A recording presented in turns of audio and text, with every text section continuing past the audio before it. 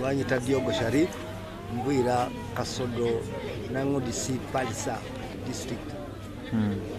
Ah, ekikulu ennyo twebaza gavumenti lwokuba nti yatuwa eddembe eddwaliro Tu- tuyisibwa bulungi olusi. Naye ebiseera ebirala tetuyisibwa bulungi lwa nsonga nti oyinza okutuuka olina omulwadde ng'ate ah, ogenda oku- okuyingizawo omulwadde ng'ate tewali ddagala Eh, ekyokubiri ah, wesanga nti bakugamba agenda ogula eddagala.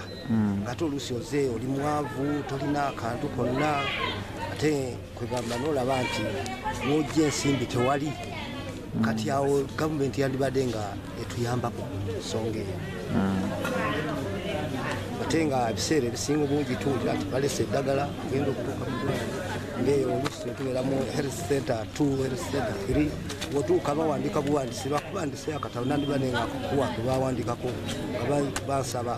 leeta ekitabo ne bampandikira ddagala lino lino ogenda oku- okugenda wali bagabira ddagala nga tewali nga bakugamba genda ogule kati awo netulaba nti banaganda nga ebepalisa tuyisibwa bubi lwensonga eyo mbadde nsaba gavumenti ekyusemuko ebyange bino